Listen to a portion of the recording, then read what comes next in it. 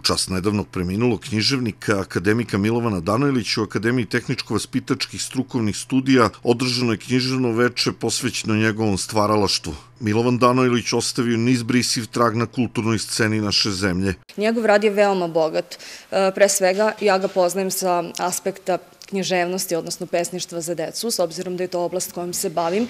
Inače, on je veoma plodonosan i pesnik za odrasle, i prozaista, i prevodilac, akademik, inače e, član SANU-a, mnogo, mnogo toga o njemu bi moglo da se kaže.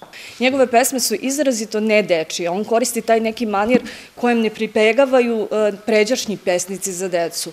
On se obraća deci sa punim poštovanjem, ne koristi neki tepavi jezik, deči jezik, ne, e, ne igra se preterano rimama, tako da je stvarno njegova poezija za decu veoma interesantna i za odraslu čitalačku publiku i smatram da je ovo književno veče da bi jedan od ciljeva ove književne večeri trebalo da bude da se nekako vratimo i sa ovog našeg odraslog stanovišta pesmama za decu Milovana Danojlića.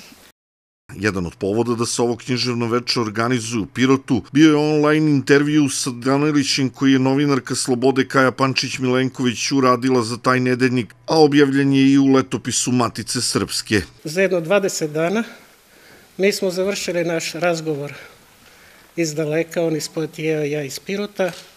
Posle je taj razgovor objavljen u formi feljtona u Pirotskoj slobodi, u šest nastavaka.